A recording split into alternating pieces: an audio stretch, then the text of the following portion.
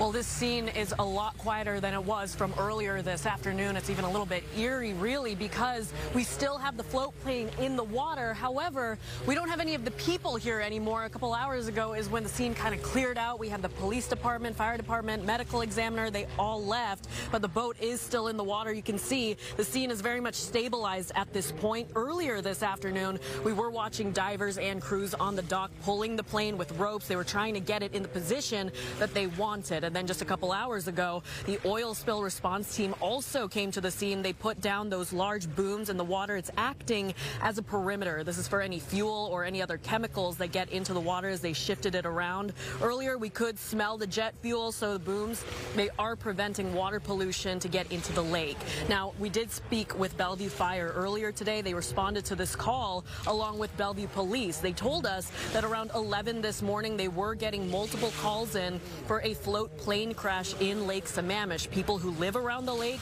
they told emergency crews that they saw the plane came down, come down rather, and here's how they described it.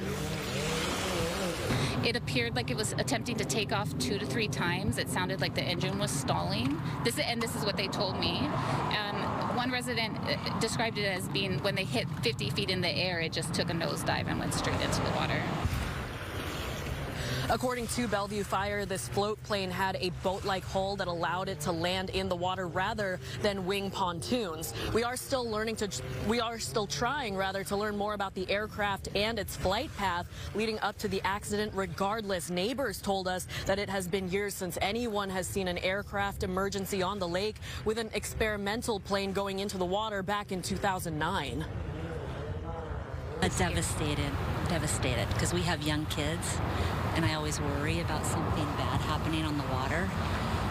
And I've never thought that there would be a plane crash. Um, more of a boating accident is more where my fear lies, but the plane crash is just really heartbreaking.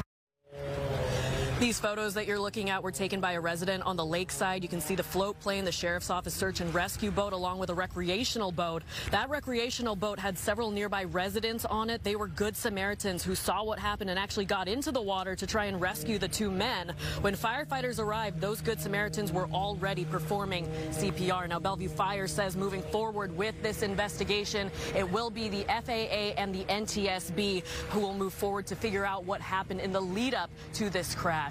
We're live at Lake Sammamish. I'm Nikki Torres, Fox 13 News.